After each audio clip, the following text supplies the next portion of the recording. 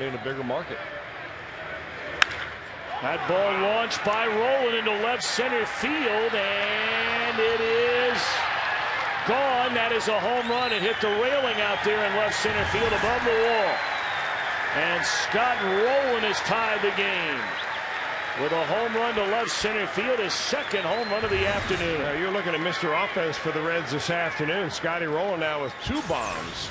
Got a breaking ball earlier in the game, hit it to left field. That time got a high fastball, belt high, and walloped it to left center field a long way and a big part of the ballpark.